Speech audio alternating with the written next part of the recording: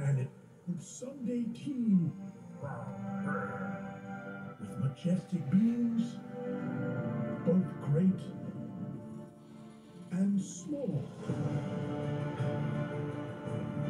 And when her wondrous vision came to pass, she gazed upon the primordial ooze and realized that she still had some leftover